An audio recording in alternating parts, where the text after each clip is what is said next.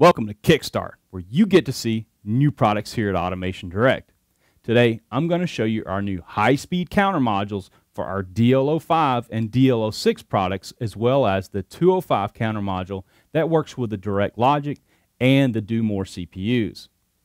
These new H0 CTRIO2 and H2 CTRIO2 modules were designed and built by our friends at Host Engineering.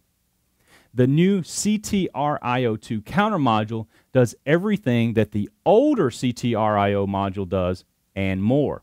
For instance, it has faster input and output rates at 250 kHz each versus 100 kHz in and 25 kHz out on the original CTRIO module. There are now three additional profiles offering closed loop control like Dynamic Position Plus, trapezoid plus, and trapezoid with limits.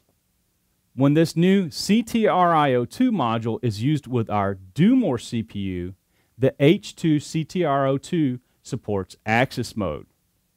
The new H2 CTRIO2 requires less backplane current, allowing for potentially more modules in a base. The H2 CTRIO2 module was launched in 2012, but with only support with a Do More CPU.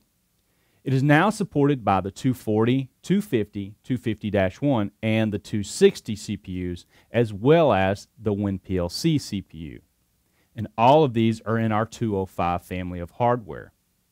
You can find the agency approvals and the specs for these new CTRIO2 counter modules on our website at automationdirect.com.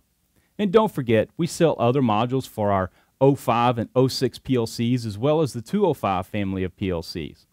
Check back with us often on Automation Direct's websites or on youtube.com slash Automation Direct for more Kickstart videos. And if you're watching with us today on YouTube, please let us know what you think about these new counter modules or how you plan to use them in your next application by dropping us a comment down below. Thanks for watching, and we hope to see you again soon.